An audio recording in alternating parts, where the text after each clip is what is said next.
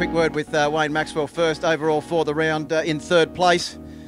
Well, Wayno, once again you showed you've got an incredible bit of pace, but uh, an unfortunate decision there that just went against you in that last race. You know, we looked at the footage and all the bikes are moving, and um, the uh, timing guy said it wasn't moving as much. So we'll have a bit of a look into it further after this. But uh, you know, full credit to the guys at Team Suzuki.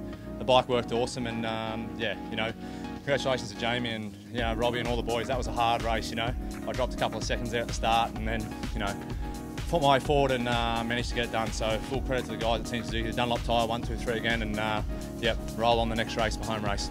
Well done, Wayne. Congratulations, and uh, can't wait for the next one. No worries. But overall, it's been a pretty successful weekend for you uh, on the podium in the last race, and overall as well. Well done.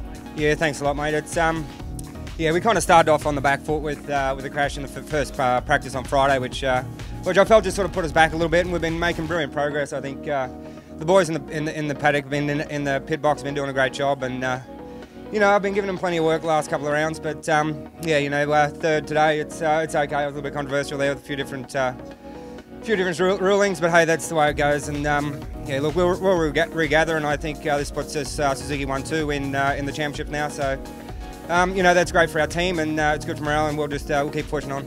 Congratulations, Robbie. Well done. Thank you. And ladies and gentlemen, please, big round of applause for our race winner, round uh, victor, and uh, new lap record holder at Hidden Valley. Well, Jamie, it's been a great weekend for you. Your first lap record of the year, your first race win of the year, and first round win of the year as well.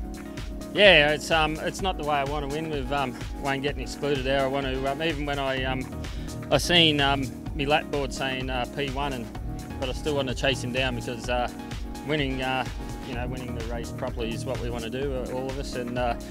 I was pushing hard then, but um, yeah, Wayne's still got that bit on me. We've got to go back and uh, and uh, check that out. But we've definitely moved forward since the last round, and uh, I can't thank the uh, Honda guys enough. The tyres are working well, and um, it's good to be back here. But um, hopefully we can um, make some more improvements and uh, be winning the race uh, fair and square. Anyway, congratulations to you. Congratulations to the whole Honda team, Jamie. Well done. Thanks very much.